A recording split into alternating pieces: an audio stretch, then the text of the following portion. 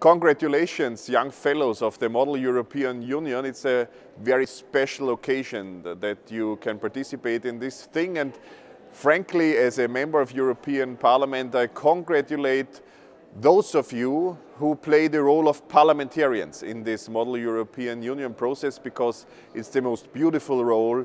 It's the role where you can represent the citizens of your constituency, of your country, of your member state and uh, develop the whole European Union to bring European Union and even on a global scale in a good future.